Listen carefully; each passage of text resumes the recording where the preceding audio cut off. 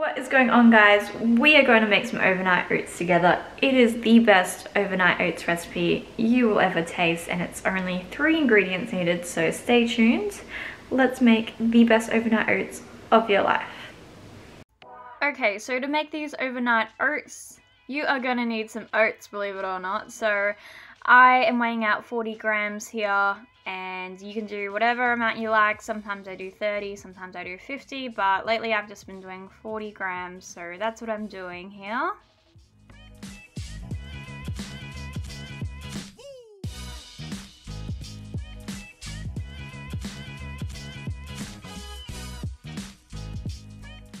And next up to the bowl, we are adding some protein powder. So I use the Snickerdoodle flavor of PE Science. It's personally my favorite protein. If you don't know what Snickerdoodle is, it's just like a cinnamon cookie. And honestly, I love this protein powder.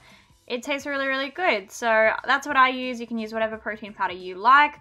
And I just use 25 grams of protein. I personally find that that ratio is really, really good. Obviously, you can use more. The more protein powder you use, the more flavor you'll have.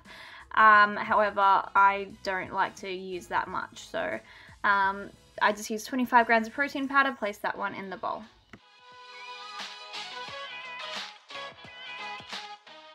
And the key ingredient here is using a 100 grams of the Yoplait Forme yogurt.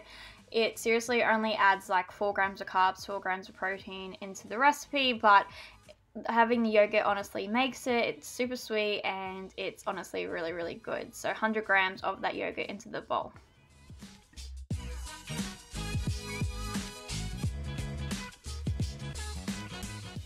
And then we add some water to whatever consistency you like. I recommend doing a little bit more than what you'd like to eat your oats with because then it's going to evaporate a little bit and the oats kind of expands overnight. So add a little bit more because when you go to get it in the fridge in the morning, it will be quite thick. So make it just a little bit runnier.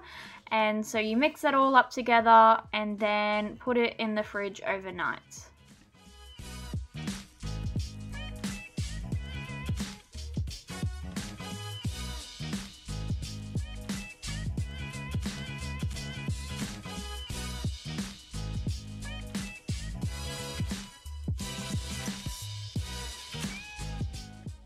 And of course this is them the next morning, so I will show you guys the consistency of the oats here. Obviously this is not adding any water the next day, so you can see the oats have expanded. It is quite a decent sized bowl, but look how good that is.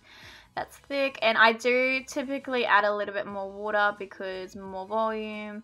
Um, but other than that, your oats are good to go. So all that we use 40 grams of oats, 25 grams of protein powder, and 100 grams of yogurt. Set in the fridge overnight, and you have yourself some overnight oats. If you guys make this, please feel free to tag me on Instagram. I would love to see, but thank you all so much for watching, and I will see you guys in my next video.